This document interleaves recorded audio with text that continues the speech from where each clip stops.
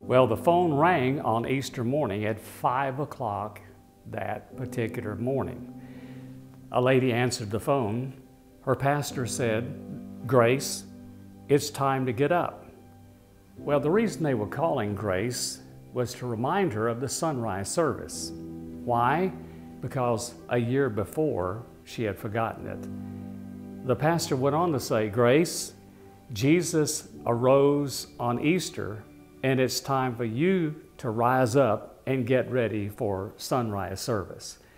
Now, whether or not you're having a sunrise service, probably most of our churches are having in person worship and preparing for some of the larger crowds we've seen in this COVID period. We want you to know, as a team here at the State Board of Missions, as your state missionaries, we're praying for you and we're looking forward to hearing reports of a harvest of fellowship and evangelism from this Easter. He is risen, and we need to rise up to the occasion as well.